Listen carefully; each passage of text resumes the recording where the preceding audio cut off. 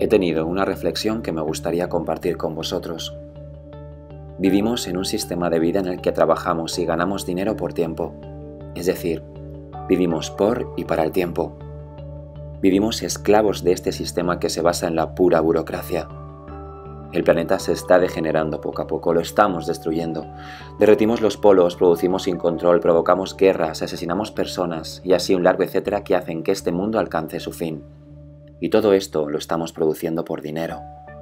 No somos felices con lo que tenemos, siempre queremos más. La vida se debe basar en lo básico que se necesita para vivir. Y vivir en un sistema que realmente mire por cada persona y por cuidar este impresionante planeta lleno de belleza.